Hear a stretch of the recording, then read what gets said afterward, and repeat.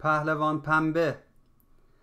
پهلوان پنبه به فردی می‌گویند که در کاری مهارت ندارد اما ادعا می کند که در آن کار مهارت زیادی دارد.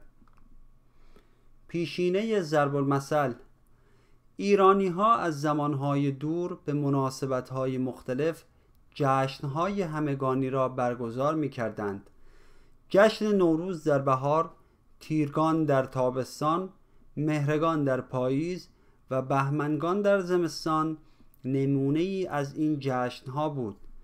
در برخی از این جشنها مردم لباسهای خاصی را می پوشیدند برای مثال در یکی از این جشنهای همگانی دلقکی لاغرندام بود که لباسی بر تن می کرد و در آن پنبه می گذاشت و هیکل خود را شبیه پهلوانان می کرد این دلغک حرکات پهلوانان در نزد مردم را نمایش می‌داد.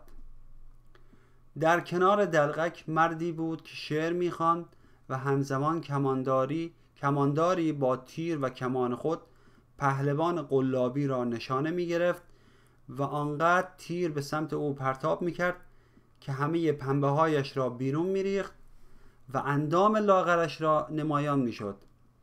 پس از آن پهلوانان واقعی وارد میدان می شدند.